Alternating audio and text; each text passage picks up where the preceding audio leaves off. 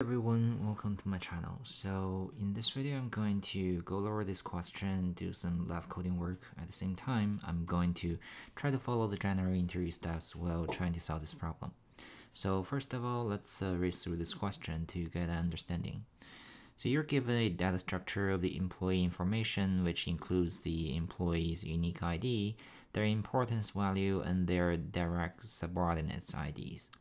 So for example, employee is a leader of employee 2 and employee 2 is a leader of employee 3. They have the importance value of 15, 10, and 5 respectively, then it is represented by like a list of the tuples, something like this. And then note that although employee 3 is also a subordinate of employee 1, but it's not direct report. So now given the employee information of the company and then employee ID, you need to return the total importance value of this employee and all of their subordinates. So it's something like um, we try to trade the total of the employee's uh, importance value based on uh, his or her importance value and now uh, the importance value of his or her reports, both direct and non-direct reports. So for the for example, something like this, for the total of the importance value of employee 1, it is going to be 11 because uh, 2 and 3 both report to number 1.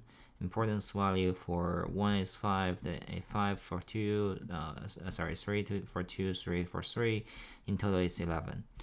So let's take a look at some notes. So one employee has at most one direct leader and may have several subordinates.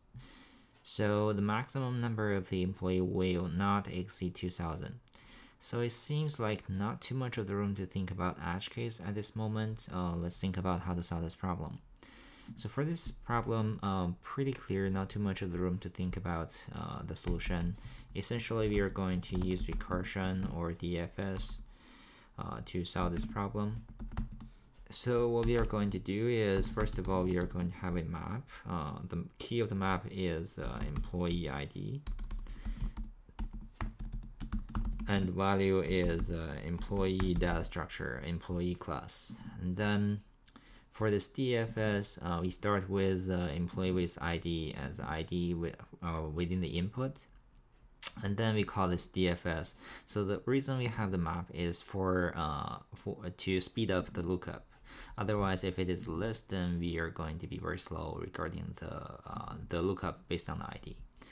So the runtime is going to be O of n, n is the number of the employees because we first of all we need to do one pass to pass this list into the map, and also for DFS, uh, at, most we are going to go over all of the employees. So that's essentially why it is uh, O of n regarding the runtime.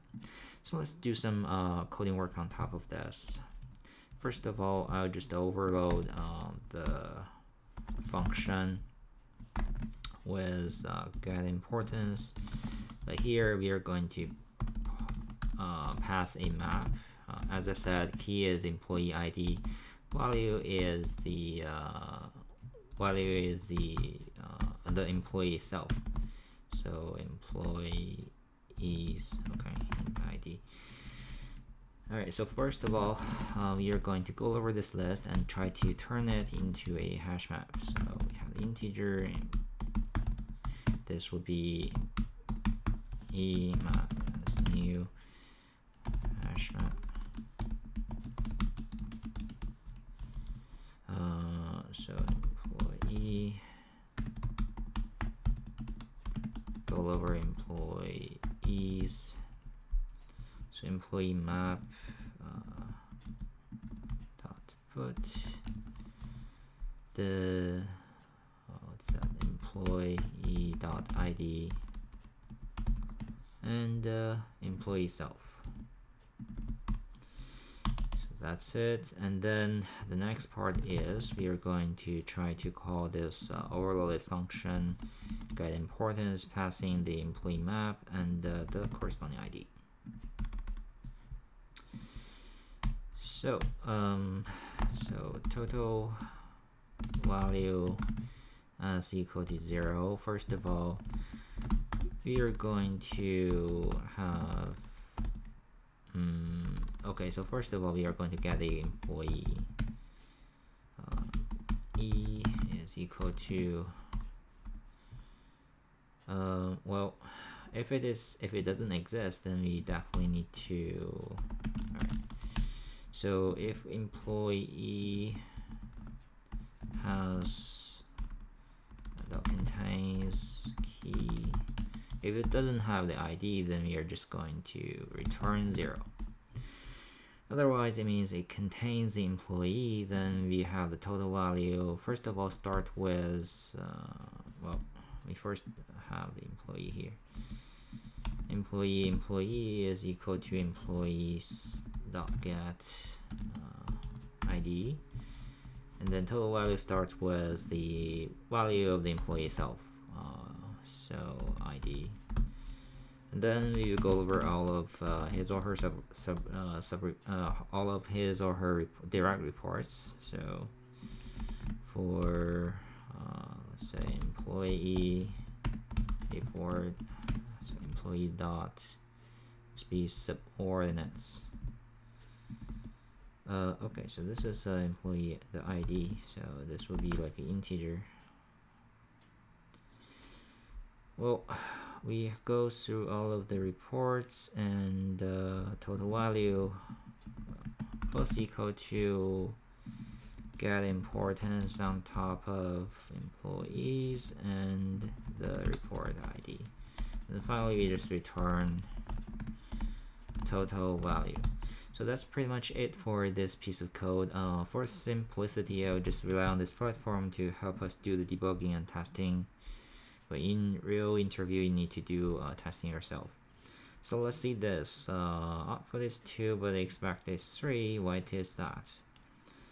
So get importance. Let's see why.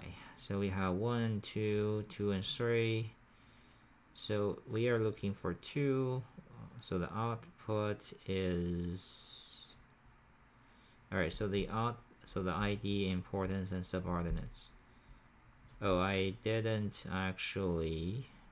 Oh, it's not ID, it's actually the importance, so... That's essentially why. Um, get importance... Yep, so that, I think this should be... That's a typo. Alright, so let's do a submission for this piece of code. Alright, so that's it for this uh, coding question. So if you have any question regarding this piece of code or regarding the solution, feel free to leave some comments below. If you like this video, please help subscribe to the channel. I'll see you next time. Thanks for watching.